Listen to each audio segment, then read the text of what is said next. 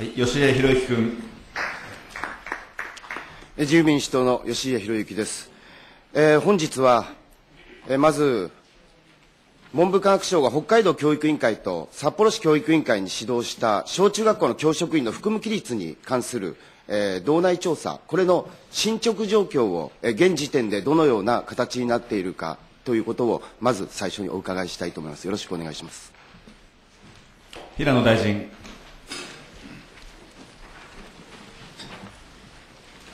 今、吉江先生から、えー、ご質問は、えー、北海道教育委員会における伝道調査についての今の現状の姿はどうだと、こういうことのご指摘だと思っております。えー、北教組における違法政治献金に端を発したこの一連の問題につきまして、昨年10月、文部科学大臣による指導を踏まえて、えー、北海道教育委員会において、いわゆる伝道調査が、えー、進められてきたところで、えー、ございます。えー、北海道教育委員会におきまして、まず先行して調査を終えた平成23年度末退職者にかかる処分を3月末に実施をいたしました。その結その他の結果、調査結果につきましては、この8月を目途に、うん、調査結果をまとめる予定となってございます。えー、3月末に実施をいたしました、えー、処分等につきましては、北海道教育委員会、えー、108人、えー、札幌市教育委員会19人と、えー、こういうふうになってございます。私も先生からもルール委員会等々でご指摘ございました、えー、北海道の行きまして、えー、道の教育長にもこの問題は徹底的にやっていただきたいということを申し上げてきた経過もございます。今の状況は以上でございます。吉江博之君。非常に意識を持った、えー、答弁ありがとうございます。しかし一方で、えー、私のもとに、まあ、先日も寄せられたんですけれども、まあ、学校のコピー機を使った、えー、勤務時間中の組合からのペーパーあるいは内部資料等々でこれを寄せてくれる多くの方は正常化を望んでいる教師たちなんですね。でもこういう状況に巻き込まれたくないと。とにかくまっとうに子どもと向き合っていきたい。そう思っている、え、教師たちが、まあ、勇気を持って寄せてきてくれるもろもろなわけですけれども問題の根底にあるのはもぐらたたきではなくてこの、まあ、ストライキ等々を繰り返してきたこの北教組という団体がしっかりと自浄作用を発揮して、まあ、正常な活動をするという、えー、正常化が何よりも問われていると思うんですが私は正直申し上げて現在の民主党政権の中でその正常化を、えー、進めていくことは難しいであろうと実は思っております例えば、えー、今出てきた北海道で処分されたのが108人、一方で札幌市が19人等々のえお話がありましたけれども、これ、違法ストライキを行った時の処分も、同じ団体が同じ地域で行ったにもかかわらず、まあ、政令市とその他の北海道は変わってきますが、札幌市の処分は非常に甘いもの。そして一方で、えー、道の方は、えー、比較的きちっと、えー、行ったというところで大きな差異が出てきています。だからこそ、これは、えー、政治が、文部科学省がしっかりと、えー、イニシアチブを取って進めていかなければならないところだと思いますが、一方で、今の政務三役の中に、やはりこの日教組、北教組と、まあ、日教組と関わりのある政務官が入ってしまっていると。で、このことについては、私も再三ご指摘してきましたが、やはり正常化を求める文部科学省の中に正常化を求められる組織の組織代表であり、そして日教組会館の中に、えー、講演会を置き、そして、えー、政治資金等々も、えー、依存している政務官が入っていると。これは、えー、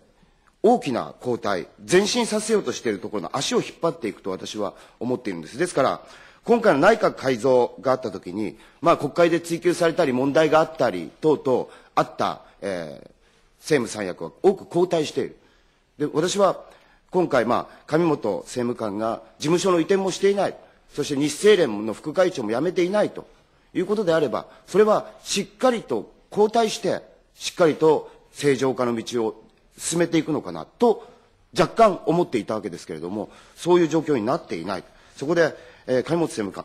えー、もう一度、えー、確認のために、えー、お話を伺いたいと思いますが、本日現在もえー、日本民主教育政治連盟の副会長の職にあるのか、そして、いまだに後援会事務所が、えー日教組の、えー人々、あるいは関係者が、えー運営している、役員として運営している日本教育会館内に事務所が所在するのか、お答えください。上本文部科学大臣政務官。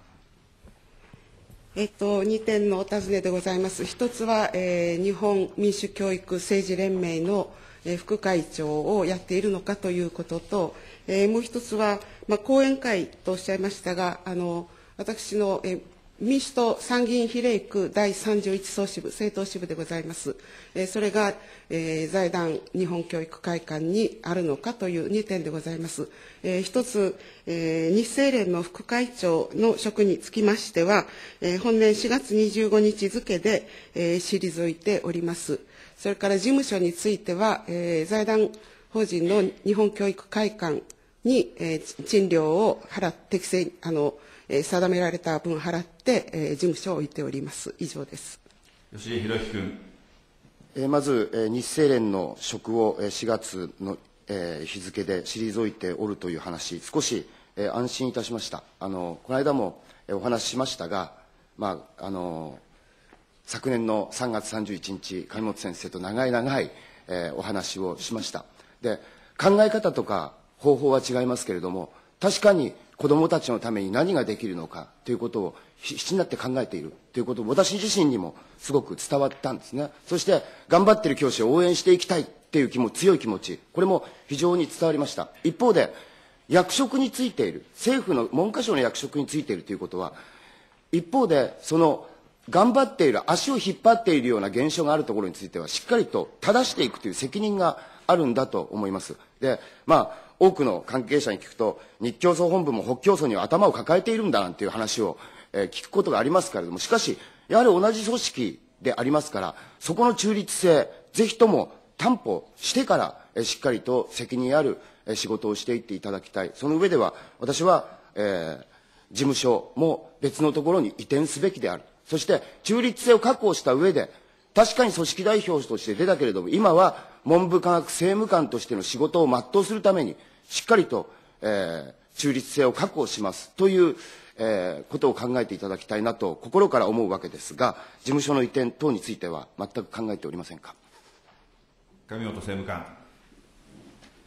え先ほどもあのお答えした通りでございますが、えー事務所については日教組のその本部もその、えー教育会館には入っておりますけれども私の事務所は、え別の部屋であのちゃんと賃貸契約を結んでおりますのでそこはあの、えーきっちりと春別をしているあのしてえー今、政務官としての仕事をさせていただいているところでございます。あの、吉江議員おっしゃったように、あの、教育の政治的中立というのは、あの、しっかりと守っていかなければいけないと、これは、あの、以前から思っておりましたし、特に今、行政府の、えー一員として仕事をさせていただいておりますので、そのことについては、教育基本法をはじめとする、えー法令にあのしっかりのっとった上での、えー仕事を着実に、えーこれまでもさせていただいておりますのこれからもそうしたいと考えております。吉井博之君。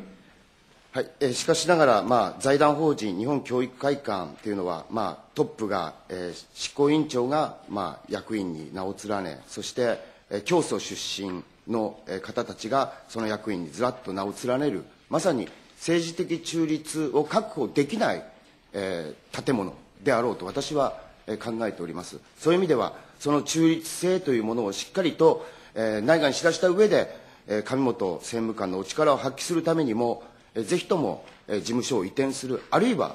えー一人の教育を思う政治家として、えー閣内ではなく、別個のところで活動していくという判断を、えーしていただきたいと思います。特に、例えば、えーこれまでも、北教組をはじめとする、えーまあ、北教組から例えば、えー前回の選挙の前の年なんかですと、えーパーティー券の購入で北教組50万岩手県30万千葉県40万神奈川県競争50万静岡県競争50万石川県競争30万三重県競争50万大阪府競争30万等々全国の、えー北教組、えー日教組の、えー支部から、まあ、パーティー券を購入してもらっているわけですけれども、例えば、えー、50万円のパーティー券を北教祖から、えー、購入された平成18年、このパーティーについて、えー、私はこのお金は返金すべきである、北教祖自体に警察が入って、で有罪となっているわけですから、これは返金、道義的責任もあって、返金すべきではないかというお話をしたところ、まあ、政治資金パーティーの対価に関わる収入であるから、政治資金規正法にのっとって適正に処理しているという答弁でありました。一方で、じゃあ、この平成18年の政治資金パーティーの収支報告書を見ると、パーティーは喜山と呼ばれる会場で行われていたというふうに書かれております。この喜山というところ、どこにある、えー、会場でしょうか？上本政務官。えー、パーティー券の購入についてのお話、これは確かあの参議院の予算委員会でもあの同じご質問をいただきまして、今、委員あのおっしゃっていただいた通り、えー、これは政治資金規正法に基づく、えー、パーティーでございまして、えー、それに従って適正に処理をして、えー、報告もしておりますので、特段問題はないとあの考えておりますが、えー、お尋ねの喜山という、えー、今はもう亡くなったと聞いておりますが、えー、日本教育会館の中にある食堂でございます。吉田博君。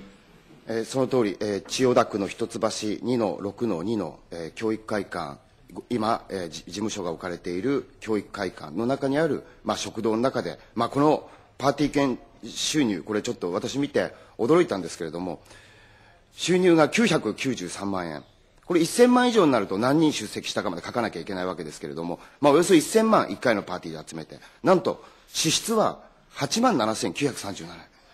1000万でパーティーに関わる事業は8万円、9万円弱しかかかっていないと。これ、さらに開催された日時もですね、10月17日ですが、これ火曜日なんですよね。教員は当然事業ありますから、北海道とか、えー、岩手とか、まあ、千葉とか神奈川はまだしも、北海道や岩手や、あるいは福岡や岡山から、えー、来ているということはまさに考えられない。まあ、政治資金パーティーの対価に名を借りた実質の政治献金という指摘を受けても仕方のないこの処理だと思うんですね。で私は、だからこそしっかりと今政治的中立を確保して、きちっとした教育行政を行っていきますという意味で、この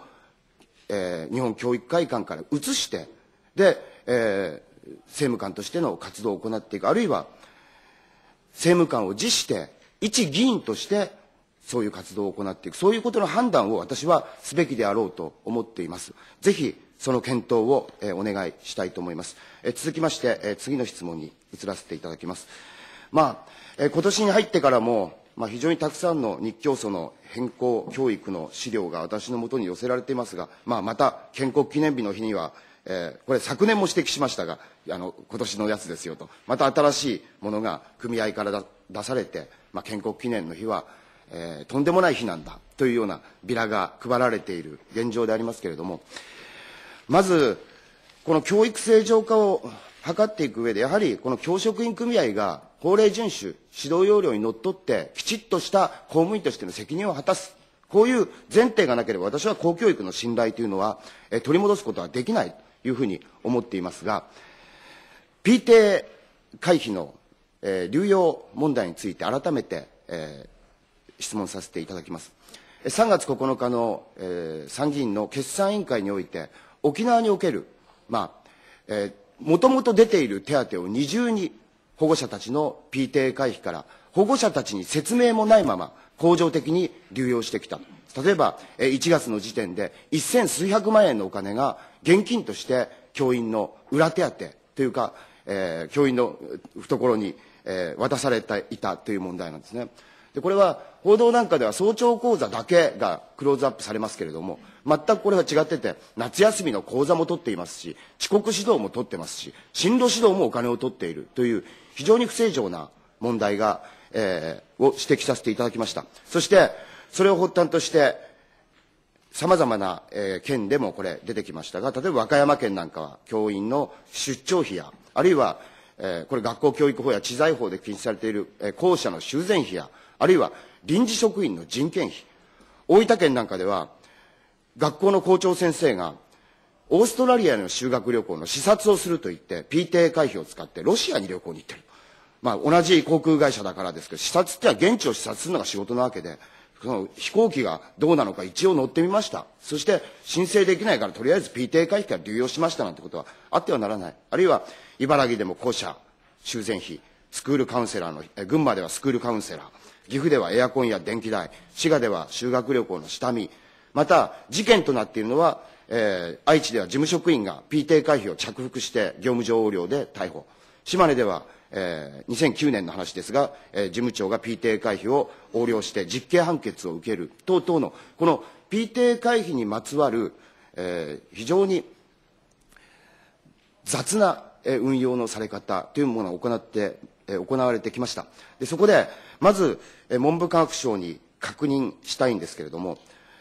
兼職届を出せばいいみたいな議論が今沖縄を中心に出てるんですね。しかし文部科学省の見解は兼職届さえ出せばそれでいいのかどうか、まずちょっと抽象的な質問ですが、えー、教育公務員特例法の17条に対しての見解、平野大臣教えてください。平野大臣。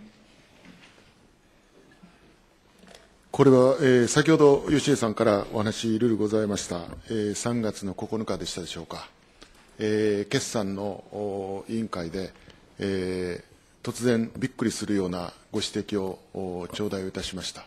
えー、それはまさに沖縄における、えー、PT 会費の、えー、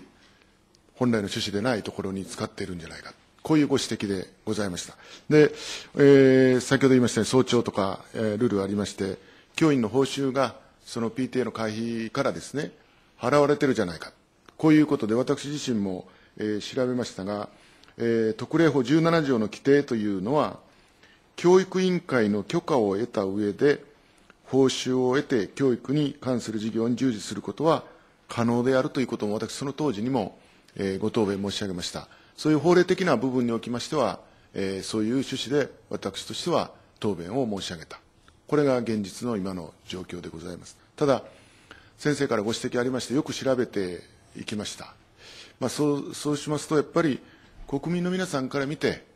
常識的な中に本当にこれがあるのか、こういう、えー、ところもやっぱりきちっとあの組まなきゃいけないということで、調査を、えー、徹底的にしろということで、調査をいたしているところでございます。で沖縄におきましては長い、えー、歴史的な経過も、えー、ございまして、慣例的にえやっているところもございました。しかし、今そういう時代ではないと、しっかりとその部分についての是正をするようにということも、えー、指導をいたしておるところでございますし、つい先日の全国の、えー、都道府県の教育庁会議にも私、出向きまして、この問題については徹底的に対処するようにということを強く要請したところでございます。吉江博之君。若干、え心配などで、えもう少し突っ込んでお聞きしますけれども、え文部科学省が5月の9日に、え初中局長の名前で出した、え各、え教育庁宛てに出した、えこの PTA 会費等の取り扱いについての、え基準ですね。で、これを読んだとき、あ、きちっと理解されてるなと私は思ったんです。でも今の平野大臣の話を聞くと、あれ、この書類とちょっと矛盾があるんじゃないか。つまり、このえー、文部科学大臣の、まあ、初中局長名で出したものっていうのは、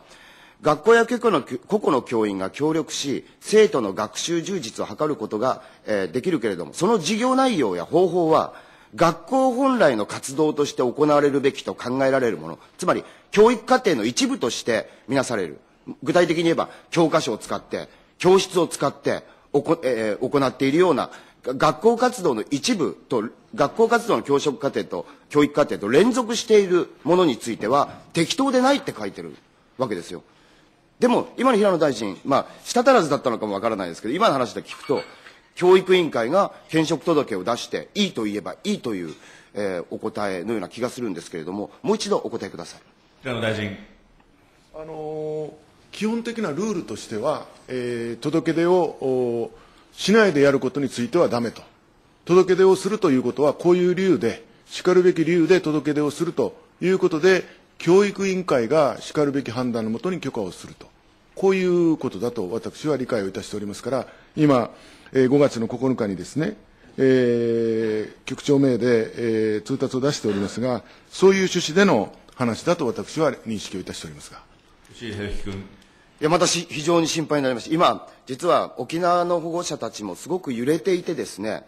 基準をしっかりと、まあ、この文部科学省の基準はしっかりとしたものだと、まあ、正常化を求めている保護者たちは納得しているわけですが、今の大臣の話を聞くと、また不安になるんですね。もう一回繰り返しますよ。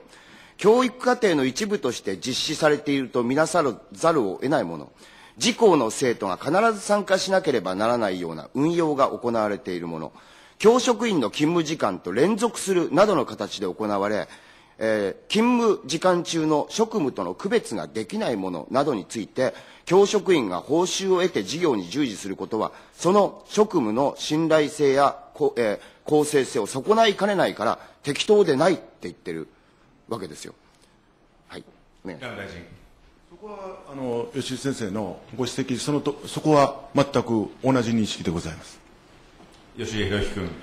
安心いたしました。まあ、恒常的に行われていた、まあ、ゼロ工事等々っていうのは、これ事業時間と連続しているわけですし、そしてまあ、あの、あれはそもそも兼職届さえ出さずに、えー、恒常的に行われていたということですが、この補修に対しては、これは、えー、何度も指摘している通り、特別の手当が教員は上乗せ分で存在していて、で、その部分がそこに該当するというわけですから、これは、えー、しっかりと今の、えー、基準、あの、ご理解いただけるなら、えー、ちょっと安心しました。これ本当に保護者、今揺れてますので、私のもとにこの、えー、公立学校保護者有志の会というところから、まあ、様々、まあ、教育委員会にどういう検討状況ですかっていうことを、えー、質問するわけですけど、教育委員会は梨のつぶてで、全く保護者たちに説明しない。教育というのは、学校、地域、家庭の信頼関係がなかったらできないわけですね。しかし、保護者たちが説明してくれ、おかしいじゃないか、これまではどうなったんだ、これからはどうするのかって言ったら、検討中。という形で、何ら誠実な説明がないような状況なわけです。まして、文部科学省がこのようなきちっとした基準を示された今になっても、まあ、まず最初に私は説明すべきは、文部科学省に対してではなくて、保護者たちに今までどうだったかっていうことを誠実に向き合うべきだと思っているんですが、まあ、なかなかその方針が年度内に検討、あるいは秋までに検討みたいになってますが、PTA 総会っても始まるんですね。上本先生はわかると思いますけれども、PTA 総会始まるか、もう終わってるところもありますし、これが6月に行うっていうところが圧倒的多くなわけですよ。その時に、じゃあ、どうなってしまうのか、という危惧もすごくしてるわけですね。ですから、まあ、文科省は一応リーダーシップを取って出したわけですけれども、改めてですね、きちっとした運用の仕方をしていただかなければならないということを、まあ、全国にも記者会見でもいいですし、しっかりと発信していただきたいと思うんですが、いかがでしょうか？平野大臣。これは5月の9日に通達を出しておりまして、その中の一番のポイントは、社会通念上、本当に妥当なのかというところをやっぱりしっかり判断してほしいというと同時に、私、つい先日、あな何日だっけ ?5 月30日。5月30日に、えー、改めて私、えー、教育長会議に出向きまして、この問題については、2回にも、2回とも、えー、私は申し上げました。えー、それは吉先生の思いは私、少なからず共有したつもりでございますし、文科省としてもこれは、えー、過去しないと、こういうことで徹底をしていきたいと、かように思っています。吉井弘樹君。私自身の認識は、社会通念上というよりも、これ非常に大きな問題をはらんでいるというふうに、実は自覚しているんです。これまでのことを検証しただけでもですね、非常に大きな問題をはらんでいると思います。で、ちょっと、えー、刑法における収賄罪の構成要件、これ、えー、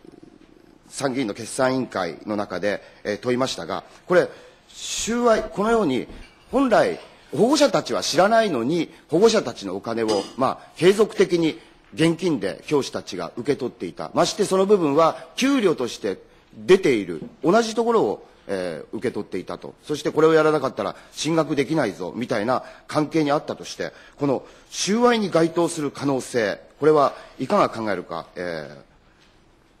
お答えください。役人の方だけ。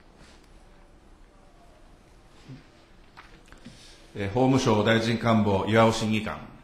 えお尋ねの犯罪の成否につきましては、収集された証拠に基づき、判断されるべき事柄でありますので、お答えは差し控えさせていただきたいと思いますが、一般論として申し上げますと、収賄罪は刑法197条に規定がございまして、公務員がその職務に関し、賄賂を収受し、またその要求、もしくは約束をした場合に成立するとされているところでございます。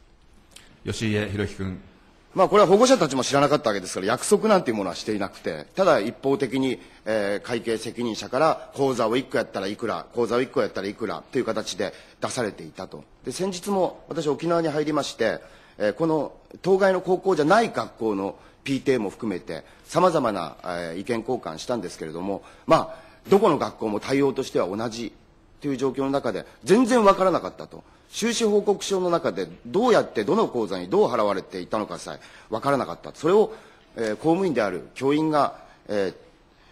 まあ、受け取っていたわけですよね。でこれさらに問題だなと思うのは教員からも多く聞き取りをいたしました。でこれ慣例的にもらってたので確定申告してないって言うんですねある人は。で、この確定申告について、国税、給料もらってる人の確定申告、大体、どのぐらいの収入があったらしなきゃいけないんですかね。国税庁西村課税部長。お答え申し上げます。個別にわたる事柄につきましては、守秘義務の関係上、お答えすることを差し控えさせていただきたいと思いますが、一般論として申し上げれば、個人が人的益務の提供の対価を受けた場合には、所得税の課税対象となります。例えば、給与を一箇所から受けている人で、給与所得とか対象所得以外の各所得の金額の合計額が20万円を超える人は、所得税の確定申告をしなければならないとされております。いずれにいたしましても、国税当局いたしましては、あ各々のの事実関係に基づきまして、法令等に基づき、適正に取り扱いと、取り扱うこととしております。吉家博樹君。まあ、慣例的に保護者たちも分からずに一口座いくら、多いところでは、えー調査、報道にもよりますと、多い人は月20万円近く受け取っていた、あるいは10万円近く受け取っていた等々の、えー聞き取り報道もありますけれども、これ、年にしたら結構な額になるわけですね。この年にしたら、まあ、20万円以上の人は確定申告しなきゃいけないわけですけれど、多くの人はこれ20万円超えてるわけですよ。としたときに、これ、教育公務員が脱税しているかというような問題にさええーそういう批判さえ受けるような事案なわけであります。だからこそ、きちっとした調査、そして、例えば保護者から返還請求が起こったら、これまでのお金に対して兼職届さえ出していなくて、教育委員会さえ認めていなかったわけですから、これまでの、えー時効に関わらない部分のこれまでのものについては、えー PTA 会費に返納せよという、えー要求が出たら、えーどのように考えるか、平野大臣、教えてください。平野大臣。今のお雑収入というか、雑所得というんでしょうか、これで20万円以上超えるっていうのは、これ、東電申告対象になりますから、東電しかるべき、えーそういうことで収入が得られておるとするならば、私は申告すべきことだと思っています。で、また、そういうその返還云々というのは、ちょっと私、具体的なそういう事実がどうなるか分かりませんから、えー答えることは控えたいと思いますが、いずれにしましてもね、先生ご指摘のそういう点が、えー聞き取りされてもあるというようなことが、えー疑念が抱かれているわけですから、私、改めてですね、えーそのことについても、多分公務員の方は分かっておられるとは私は思っていますが、再度そういうあ疑念が、えー起こることのないように、えーきっちりと、えー指導したいと、このように思います。吉江博樹君。疑念というよりは、もともと兼職届も出さずに慣例的に行われてきて払われていたわけですから、これはもう、あの、疑いではなくて、これは明らかに違法なんですよね。法にのっとっていない、法令遵守にのっとっていない状況で、まあ、行われてきているわけですから、これ、実は保護者は、なぜそういう経緯で今まで隠してきたのか等々の公開質問状を何度も出してるんですね。ではそれに対してまず返還請求云々の前に、これからどうしていくのかしっかりと説明してくださいっていう、えー公開質問状を出しているわけですが、えー現在答えられないという状況が続いてるんですね。だおそらくこのままでいくと、ならば、えー今までえー不当まあ、兼職届さえ出ていなくて、教員たちに渡っていたならば、返還請求をしようかという話、えー実はもう一部の地域では起こってるじゃないですか。例えば、えー岸和田の、えー春木中なのかな、この芝生事業化、これ PTA 回避から、えー無断で支出して、法的根拠、まあ、知財法違反、学校教育法違反ですね。これに対して、返還請求が PTA の側から、えー当時の校長先生に45万円の平均、えー返還請求が出ている等々、これからまた、あるいは日本中でこういうこと起こっていくかもしれないんですよね。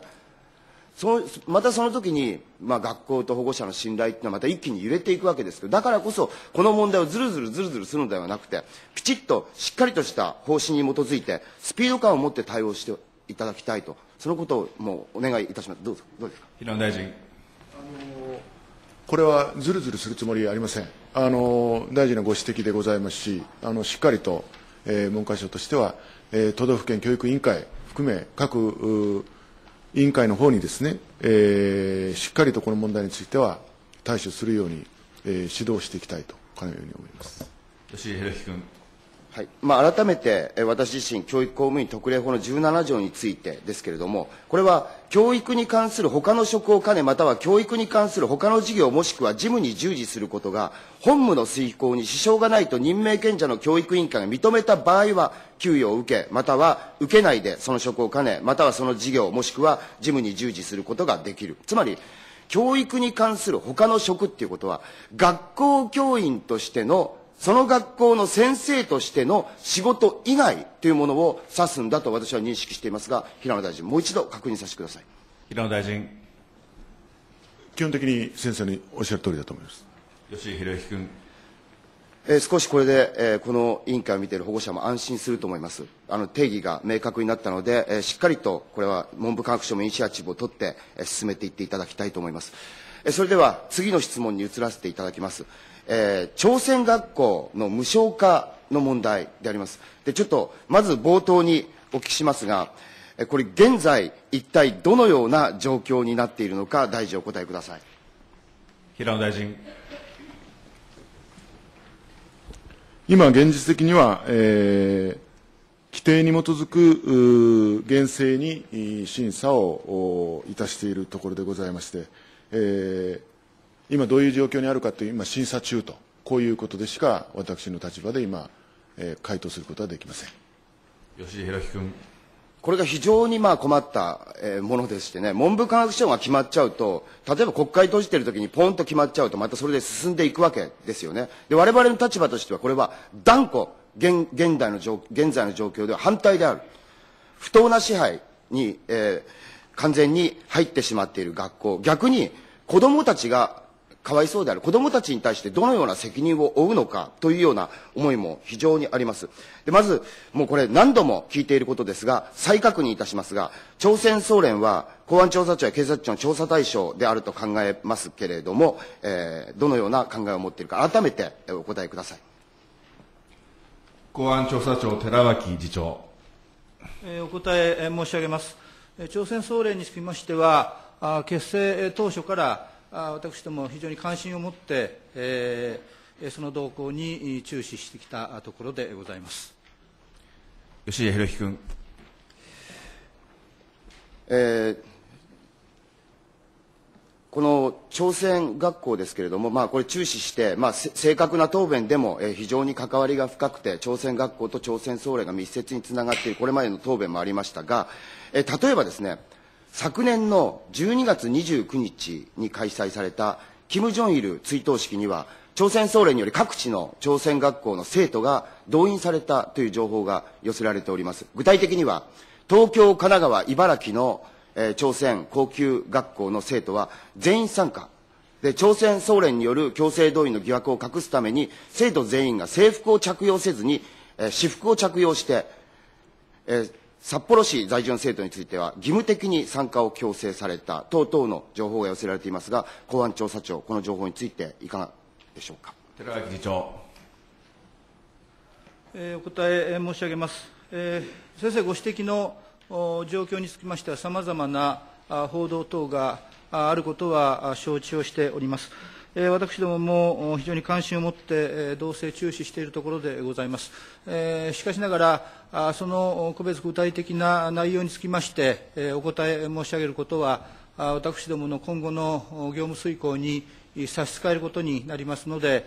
お答えを差し控えさせていただきたいと思います。吉井弘樹君。まあ、このような状況の中で、えー、朝鮮学校、高校を無償化するという判断は、私はするべきではないし、平野大臣もしないと思っているわけですが、さらに、えー、もう一つ、えー、非常に重要な、えー、ものがあります、案件があります。えー、スエ北朝鮮の民衆緊急行動ネットワーク、いわゆるリンクと呼ばれる、えー、ところが、3月15日に文科省の記者クラブで記者会見を行いましたね。えー、朝鮮学校の生徒約100名が本年の1月5日から2月の4日までおよそ1か月北朝鮮を訪問し1月25日に平壌で行った、えー、旧正月公演永遠にお日様,、えー、お日様に月従ってという、えー、講演の内容を紹介しておりますで実はこの、えー、DVD 私も入手いたしました、まあ、朝鮮高校の学校の生徒たちが、まあ、キム体制を礼賛するような劇をしているわけですが、私ね、見ながらちょっと胸が痛くなりましたよ。もう完璧というか、踊りにしても歌にしても立ち振る舞いにしても、これ、徹底的に練習しなかったら、こう、これぜひ、あの、関心が終わりでしたら、平野大臣を見ていただきたいんですけれども、本来、教育を受ける権利が子供たちにあるわけですよ。どういう体制であるでも自分たちが普通教育を受ける。ことができるのに、強制的にこの参加され、ずっと子供たちこの演劇の練習を延々と行っていなかったらできないような劇が、まあ、日本にいる子供たちが北朝鮮に行って行っているんですね。ちょっと内容、時間がないので読み上げます。え慈愛あふれる大元帥様の生誕100周年と、父なる将軍様生誕70周年を迎える祖国の旧正月を祝う舞台で、父なる将軍様に私たちの姿を本当におめえお目見せしたのです。しかし、夢にも慕う私たちの祖国の青い空に、血と涙の折り合う泣き声が叫ばれようとは思いませんでした。さあ、一生涯遠くにいる私たちのために、喜びも痛みも大きくしていらっしゃった将軍様。毎年、教育補助費や奨学金をきちんと送ってくださり、愛の慰問金を与えてくださり、私たちを守ってくださった、えー、キム・ジョンイル将軍様を私たちは永遠に忘れません。そうです。敬愛する義務ジョンウン先生がいらっしゃるので、キム・イルソン、えー、大元帥様とキム・ジョンイル将軍様、どうかお安らかにお眠りください。私たちは、えー、キム・イルソン大元帥が1が10に、10が100になって堂々たる朝鮮人になれとおっしゃられた言葉を、えー、心に刻み、キム、えー、ジョンイル将軍様の遺訓を守り、キム・ジョンウン先生だけをかたくなに信じてついてまいります。えー、敬愛するキム・ジョンウン先生、どうかお元気でいられることをお願いします。とうとうのセリフを全く台本も見ないで、まあ、まあ、だから1ヶ月以上、もう1日何時何時間も練習し続けたんでしょうね。これを北朝鮮で、日本で暮らすこの子たちが、まあ、行ったわけですよ。私は、こういうあり方、こういう教育現場のあり方っていうのは、本当に悲しいことだと思いますし、もちろん国交がないわけですから、文科省がその朝鮮学校に対して、どうしろ、ああしろって言えるようなところではないわけですね。だからこそ、この無償化の判断をするということは、それを認めるということもイコールなわけですよ。だからこそ、ここは水面下で文科省内で検討している、あるいは新しい資料の提出を求めたっていうけど、今は手の内を明かすことになるから、えー、出さないなんて我々の党の部会でも話をしてきましたけれども、まず、北朝鮮に対して再提出を求めた書類って一体何なのか、もうこれ書類を求めて出てきてるわけですから、もう今は手の内を晒す必要もないので、どんな書類を求めたのか教えてください。平野大臣。今あの、審査中であるという、まあ、こういうことと同時に、あの第三者の皆さんによって、えー、審査をされているわけでございますので、えー、ここで今お答えすることは差し控えたいと思います。ただ、先生が今、ルール申し上げられましたような、こんなことも、えー、そういう情報もいただきながら、本当に教育的観点、あるいは基準にきちっと合っているのかどうかということは、えー、厳正にやっぱり審査をしているということだけはご理解をいただきたいと思います。吉井博之君。だからこの表面上の問題だけを論じても仕方がないんですね。つまり、教育とは、あの、文科省は教育内容を問わないって言いましたが、それは教育内容を問わないってことは教育の自己否定なんですね。教育とは中身なんですよ。で、例えば表面上、えー、在日朝鮮人総連連合会のホームページには、学校の管理運営は、朝鮮学校の管理運営は各都道府県において認可を得た朝鮮学校が、えー、学校教育法及び私立教育法にのっとり独自に行っている等々が書いてあるわけですよ。でも現実に朝鮮総連の内部資料を見ると、こう書いてあるわけですよ。えー、朝鮮学校の運営は朝鮮総連の指導のもと、えー、教育会が責任を持っている。教育会は中央県学校単位で専従の活動家も同法学、えー、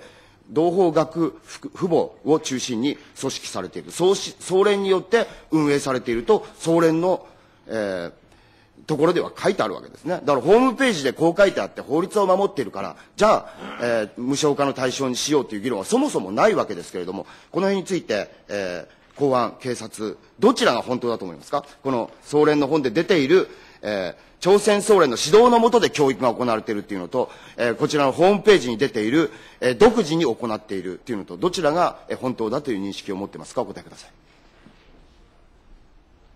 寺脇議長。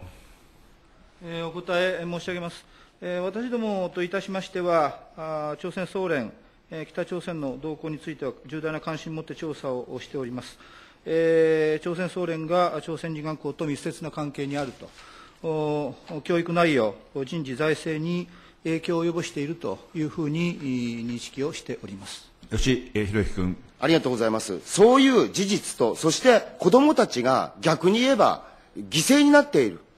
とも言えるような、え状況にある。この、まあ、必ずしも喜ばしい状況にない環境の中で、私、だこれ、あの、DVD 差し上げますので、ぜひ見ていただきたいんですよ。これを、えまあ、組織ぐるみでこの DVD をとにかくいろんな総連のトップを通して学校等々での啓蒙活動にも使えというような動きが今あるようですがまた新たなる資料が実は私のもとに届いてますんでこれ継続して、えー、しっかりと発信してまいりたいと思っております。時間が余りましたので私の質疑は以上で終了いたします。ありがとうございました。